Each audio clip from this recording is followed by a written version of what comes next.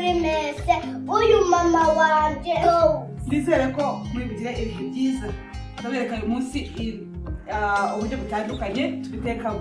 Ibirayi rero ni byo bintu biboneka cyane mu rwanda. Ndibaza ko no mu bihugu bitandukanye byo ku isi.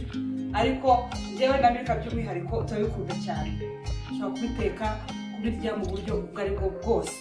Njyewe ibyo nkunda cyane kurusha ibindi. Ni ibirayi birimo amashaza harimo n'amavuta yiwe agatogo ako ngako ndagakunda cyane. Ariko uyu munsi ndabereka ibiryo ibirayi bitetse um, uh, mu buryo bworoshye ariko bwihuta reka tubyerereke rero. Mbere ibi bya mbere rero byitwa hasoba potatoes.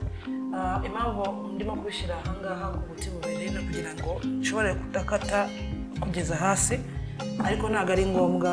Nashaka kugira ngo mbereke gusa ibyoroshye ushobora kubikata ariko ntugeze hasi. Narangiza nkabishyira mu mazi rero akonje?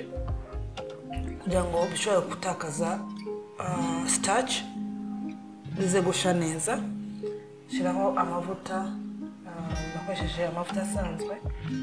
Hanyuma ah, aka kantu ngiye gusigaho ah, kitwa barbecue sauce ariko ntabwo ari ngombwa nuko nari ngasanzwe gafite niba ushaka kugira ngo nzabereke uburyo bagakora kano ka barbecue sauce ushobora kugashyira ku nyama zitandukanye.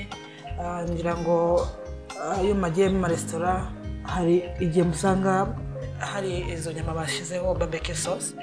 Nshobora kubereka uburyo ushobora kuyikorera mu rugo akanapfuye kugashyiraho kugira ngo ndebe niba kara yahinduka ariko hakabagiraho n'uburyohe burushijeho Ah, ibirayi rero iyo bihiye biba bisa neza cyane. Bifite ka kantu ushobora gutekereza ko ari ifiriti ariko atari ifiriti. Ah, nshyizeho ah, oven nko kuyishosha kuri magana ijana na mirongo inani. Ibirayi nkabitetse iminota hafi mirongo ine. Urabona uburyo bisa neza. Nashyizemo kizi rero kugira ngo nze kubirya biryohe kurushaho ariko ntabwo ari ngombwa. Ubona ko rero ka kababeki katumye bisa umutuku neza. Ibi kabiri ni star fried potatoes bikunda kuboneka mu bihugu ah, asian countries. Babishyira ku ruhande y'ibiryo. As a side dish. Ibirayi rero ubanza ukabikata nk'uku nguku ndimo kukwereka. Nakoreshe- nakoresheje icyuma kidatyaye neza wowe kugira ngo bikorohere ni byiza ko wakoresha icyuma gityaye neza. Ukabukata rero ukugerageza gukata uburinganiye kugira ngo butaza guhira ibihe bitandukanye uku nguku. Narangiza nanone nkabishyira mu mazi nkunda ibirayi kugira ngo bishyiremo ya starch. Bigabanyuke kuri ya starch. Nibwo mbona biryohera ngewe hanyuma dufite ibitunguru dufite nk'igitunguru eh, kimwe.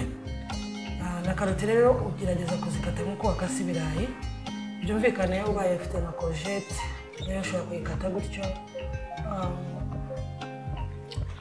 imboga zindi ushobora gukata zose zishobora guhira rimwe ushobora kuzishyiramo Ah, hanyuma ubona ko bya birayi biri mu mazi. Karoti iyo umaze kuzikata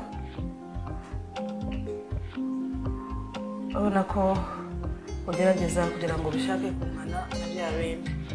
Ibirayi rero nabishyize mu mazi biratogota ariko ntubitinzaho cyane.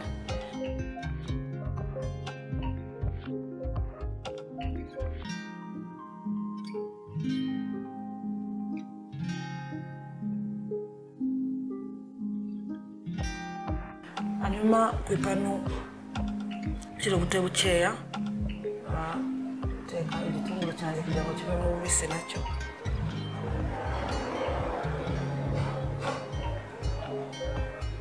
hanyuma ngashyiramo za karoti ibi biryo rero uko muza kubibona mu kanya. Ni ibiryo uteka mu minota mikeya cyane kugira ngo bitaza gusha cyane ushaka ko biba bigifitemo akantu gakomeye ah, nabwo biba bifite intungamubiri nashyizemo rosemary. Ushobora gushyiramo iyo dusanzwe tugura mu masoko. Niyo yaba nziza kurushaho. Bya birayi rero mbikuye mu mazi. Hanyuma mbivanga na bya bindi twashyize ku ruhande. Karoti. Karoti. Kugerageza kutabi kutabivanga cyane. Kutabikomeretsa kugira ngo bikomeze bikomere nk'uko byari bimeze.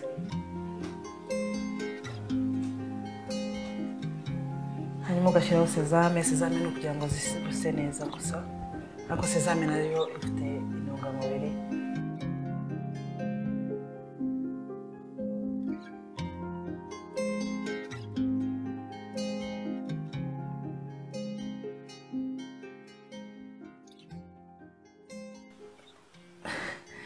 Mika rero kutwereka kuturebera niba biryoshye akunda ibintu bigiramo imboga cyane kugira ngo urabona ko yishimye cyane.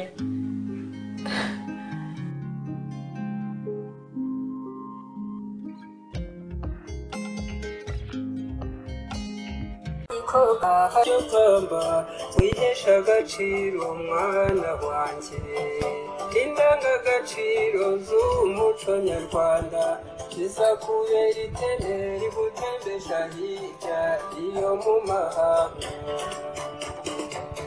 Nugerayo shenge zaratire bose ibyiza by'u rwanda dore warahagutse.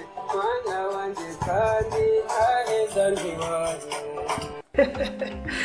nyamiga nawe ngira ngo muramubona ko kari agaciyemo. Ah, ibi birayi rero bya gatatu ni byo twisanzwe twita kirisipusi cyangwa cipusi Ah, ziba zikunda kuba ziri mu dushashi aho tugiye tuzigura mu masupamaketi ubaye rero udafite kariya kuma ndi buze kukwereka wakata dutoya ah, nk'uku nguku no kubona mu by'ukuri gatoya cyane kugira ngo bize kuza kubamo kirisipusi na yo nishyize mu mazi kugira ngo ize kuvamo sitaci ibyo bituma rero iza gukacakurika cyangwa ikaba kirisipi kugira ngo ize kuvamo nka kirisipusi aka kuma rero uh, ubaye ugafite ni byo byakorohera kurushaho birihuta kandi bikagira bikagerageza kuzana ubungana hose. Um, ahangaha nabishyize mu mazi n'iminota mirongo itatu Uh, ushobora gushyiramo ahangaha vinegere kugira ngo ize kumvikanamo uh, muri za kirisipusi ushobora kubishyiramo gutya mu mazi hanyuma warangiza ukaza kubiku- kubikura mu mazi ukabishyira mu mavuta amavuta rero ungushije amavuta asanzwe vegetable oil. Uh, yamara ugashyira- ukazishyiramo ugerageza kugira ngo hatajyamo nyinshi ku buryo biziza gufatana.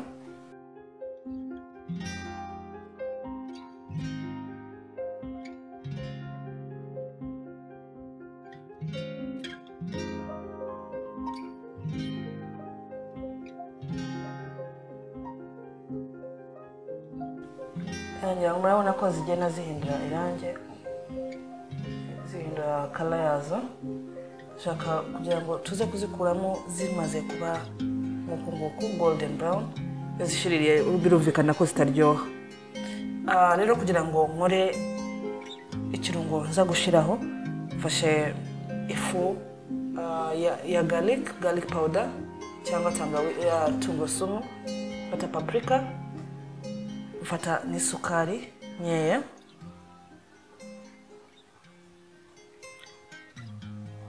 ushyiramo cayenne powder.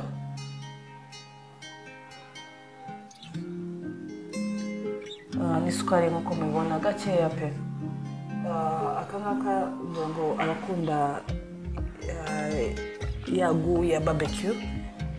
Ujya mugura handitseho barbecue. Ah, uku nguku bameze akenshi haba handitseho barbecue cyangwa paprika. Ka- ba- bagakora. Warangiza ugahita uminjiraho kugira ngo bize gukwira hose.